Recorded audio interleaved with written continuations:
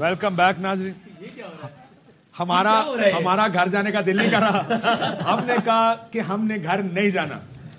Transmission हमने खत्म कर दी थी तो सदरे A R Y Amad Yusuf साहब ने पूछा हाँ। कि भाई आप घर जाके करेंगे क्या? हाँ। उस वक्त हमने सोचना शुरू किया कि यार पहले तो सोचेंगे ना घर जाके क्या करेंगे। करना क्या है? तो हमने कहा यार कुछ देखेंगे। हमने कहा अगर कुछ और नहीं करना तो ट्रांसमिशन कर लेते हैं तो घर यहाँ नहीं है मैं तो सर मेरा घर यहीं पे आपका घर नहीं आप क्यों नहीं जाते घर मैं तो अपना घर साथ लेकर आया इस्लामाबाद रहते ना यार लेकिन चले शुरू करें वैसे भी कौन सीरियसली लेता है? नहीं हमने खुदा हाफिज इस तरह कहा था जैसे अगले पचास सालों में से कोई टीम में नहीं आएगा। इस तरह मैंने कहा अल्लाह हाफिज हम जा रहे हैं। हम अब कभी नहीं आएँगे। आपका शुक्रिया मेरा शुक्रिया इस कैमरामैन का शुक्रिया। तो क्या करें चाय वाले का शुक्रिया। चाय वाले का शुक्रिया। लेकिन आप गौर करें आपके साथ ऐसा क्यों किया गया? पता नहीं मैं समझ नहीं आई एकदम से वक्त बदल गया हालात बदल ये तो सीधा सीधा आपने जज्बात जिस तरह वो कौन की जज्बात से खेला है कुछ लोगों ने हमारे जज्बात से नहीं हुआ ये है। कि जिस दिन से हम काशिफ भाई आया ना यहाँ नहीं जिस तरह मियाँ साहब के जज्बात से कुछ लोगों ने खेला उस तरह के जज्बात उस तरह के जज्बात मजरू लाइव लिखे बड़ा बड़ा लिखे हैं पूरे सेगमेंट में लाइव ताकि हाँ, ये ना लगे रिपीट पे लगी है बल्कि वो हर थोड़ी थोड़ी देर बाद लाइव घूमता घूमता स्क्रीन पर आए कि ये लाइव है। ये नहीं गए इनका घर जाने का कोई इरादा नहीं कर रहा। दस बज के बारह मिनट आज के दिन हम लाइव बैठे हैं लोगों को टाइम बता दें साथ साथ यकीन आता रहता है लेकिन क्यों? वसीम आपका घर जाने का दिल क्यों नहीं है? सबसे बड़ी आवाज़ आपकी थी मैंने घर नहीं जाना। यार मैं तो चल पड़ा था देखें यार क्या अच्छा पूरी ट्रांसमिशन आपने मुझे निशाना बनाया है। हफ़्ते से रोज़ाना की बुनियाद पे कहते आज आपको मछली खाने लेके जाऊँगा कराची जाएँगे पता नहीं क्या। दिल से एक दिन कह देता शायद आज ही कह देता दिल से। तो आज लेके नहीं जाना था। खुदा मैंने आज भी कहा था आप गवाह हैं, ये मारिया गवाही देंगे। ये बात ये बात मैं नहीं मानूँगा वसीम बताने की। मैंने कहा बॉन्डिंग हमारी बड़ी अच्छी हो गई है। दो दो दिनों में लेकिन ये बात कहा है मतलब पूरा यार आप दोनों की बॉन्डिंग अच्छी हुई क्यों है ये बताएँ? कि मेरे लिए आपकी नंबर वजह बिक्री है। से आपकी वजह से। कोई साहब आज ही नज़र असल बात ये थी। मैं कहने ही लगा असल बात असल बात लोगों बताएँ। असल बात ये थी कि हमने जब आपको पिछली एक सेकंड, एक सेकंड, खुदाफिज किया तो चौधरी गुलाम हुसैन साहब हमारे साथ मौजूद नहीं थे। हमने कहा ये कैसे मुमकिन है कि हम इतनी बड़ी ट्रांसमिशन इतने दिनों की ट्रांसमिशन खत्म करें? वो भी चौधरी साहब के बगैर। सो आपकी खिदमत में हाजिर है the one and only Chaudhry Ram Hussain in the house। अच्छा वैसे प्लान है चौधरी साहब के तरीके में चाहिए। चौधरी साहब ना ब्रेक से वापस आके ना वेलकम बैक कर वेलकम बैक हमें भी कहना चाहिए वेलकम बैक अच्छा मेरी बात सुनिए। आपको यहाँ पे मैं एक सेकंड यहाँ पे कंटिन्यू प्लीज़ प्रोग्राम करने के लिए नहीं बुलाया वो हमारे चैनल पे वो रात को ग्यारह बजे होशियारियाँ। होशियारियाँ। बैठ जाए बैठ जाए बैठ जाए। एक बात सारे समझ लें यहाँ पे हम होशियारियाँ करने नहीं बैठे। ये।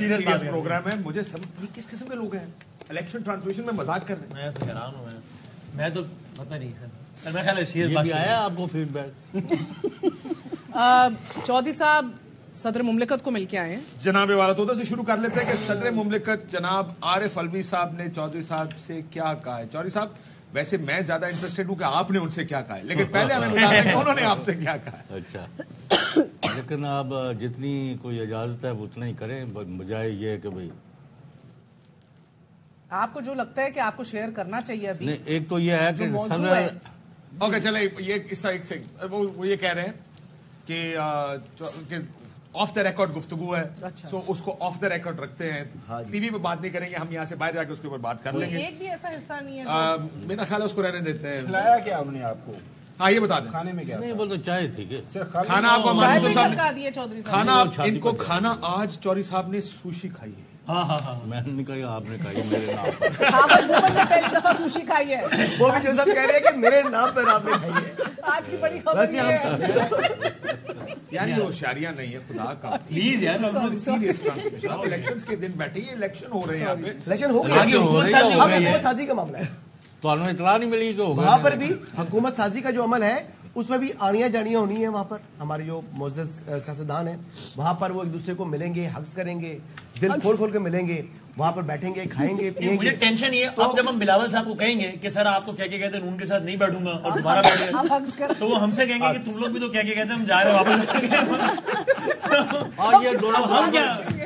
नहीं दोनों बराबर है। है ना एक गोल के बाद दूसरा दूसरी टीम है, है, तो नहीं लेकिन हम तो किसी के इखलाकी दिवालियापन का शिकार हो नहीं गए लेकिन हम तो किसी के हुक्म पे वापस आए वो कहेंगे मैं भी किसी के हुक्म में वापस आया किसी के हुक्म से मुराद सदर A R Y Amad Yusuf साहब के जी, हुक्म पर हम वापस आए और वो किसके अच्छा खैर हाँ हाँ जी।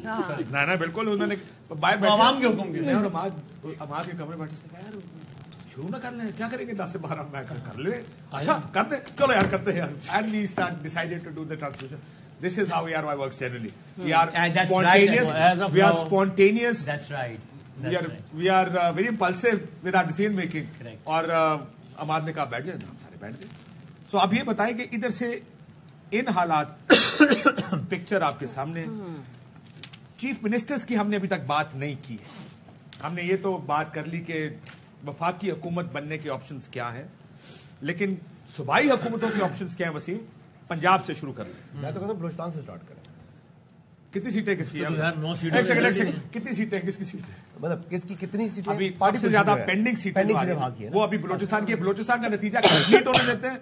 क्योंकि वो पूरा नतीजा अभी तक नहीं आया मेरे मैं दोबारा नहीं लेकिन मेरा पीपल्स पार्टी आएगा तो सुबह तक बैठ जाएँगे क्या? पीपल्स पार्टी क्योंकि कंपाइल पूरा नहीं हुआ हाँ कंपाइल तो नहीं हुआ जी। तो मेरा ख्याल है अगर हम मैं पूछ लेता हूँ अगर वो कंपाइलेशन पूरी हो गई हो ठीक है, वो तो उसके बाद कर सुनवा लें। लें, फिर उसके बाद but I still believe Punjab is a very very interesting composition कि क्या होगा क्योंकि इंडिपेंडेंट और नेक टू नेक है Muslim League Noon Waseem starting with you कौन है chief minister Punjab so again it is anybody's guess लेकिन मुझे ऐसा लगता है कि इसमें ज़्यादा इम्कान मुझे लगता है मरियम नवाज़ शरीफ साहिबा का है। नवाज़ शरीफ साहब ऐसा मुझे लगता है कि वो चाहेंगे कि उनकी वजारत उजमा में ही वो विच इज़ अनफॉर्चुनेट हमारे इस तरह पोलिटिकल पार्टी चलती हैं लेकिन वो चाहेंगे कि उनकी ज़िंदगी में उनके ही दौरे हुकूमत में या उनकी वजारत उजमा में या उनके पाकिस्तान होते हुए।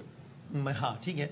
मरियम साहिबा का वो पॉलिटिकल करियर लॉन्च कर दें इस तरीके से ताकि फिर वो आगे की वजारत उजमा की रेस में शामिल हो सकें। So that's why I think ये उनका चांस किसी भी और से ज़्यादा है आज की तारीख में मरियम नवाज़ शरीफ साहब का। और मनाए से पाकिस्तान में होते हुए क्योंकि ये बात बड़ी हो रही थी कि क्या उधर से कोई सक्सेसर अनाउंस होगा और मुझे हमेशा नून लीग वालों ने ये कहा कि मियाँ साहब पाकिस्तान आएँगे ये फैसला होगा। हुज योर कैंडिडेट कौन आपका उम्मीदवार है चीफ मिनिस्टर पंजाब के लिए? मेरा तो नहीं लेकिन हाँ, है, पंजाब में अगर आप इस टाइम देखें तो जो नंबर्स हैं जो ऑफिशियल नंबर्स जो इंडिपेंडेंट्स के साथ हम कर रहे हैं मैच कर रहे हैं तो बहुत से इंडिपेंडेंट्स ऐसे हैं जो कि आई बिलीव कि उनका ताल्लुक वो इंडिपेंडेंट तो थे लेकिन मुस्लिम लीग नवाज़ आजाद- आज़ाद आज़ाद आज़ाद आज़ाद। नहीं वो मुस्लिम लीग नवाज़ के ही टिकट नहीं मिले जो लोग इलेक्शन करने लेकिन के आजाद- लेकिन आजाद- आज़ाद। हैं। तो वो नंबर काफ़ी बढ़ जाएगा और ये तकरीबन तीस पैंतीस वोटों का फ़र्क पड़ जाएगा। सवाल क्या पूछा? सीएम कौन होगा? सीएम कौन होगा? सीएम जो है वो और ये गैस वर्क है, हम सब ऐसी- guesswork ही कर रहे हैं। ऐसी पोजीशन में इंतखाबात से पहले यानी इन्होंने अनाउंस तो नहीं किया था लेकिन मरियम नवाज़ शरीफ साहिबा ही अनाउंस ये थी। उम्मीदवार थी। लेकिन आपको याद है एक दफ़ा राना सनाउल्ला साहब ने प्रेस कॉन्फ्रेंस में कहा था कि या टीवी प्रोग्राम में मेरा ख्याल कहा था शहबाज शरीफ वज़ीर आला होंगे पंजाब से। ये कह चुके वो वो अच्छा वो मरियम नवाज़ लड़ी ही सूबाई सीट के ऊपर है तो शहबाज साहब जो है वो मेरे ख्याल से वो उम्मीदवार मरियम? नवाज़ ही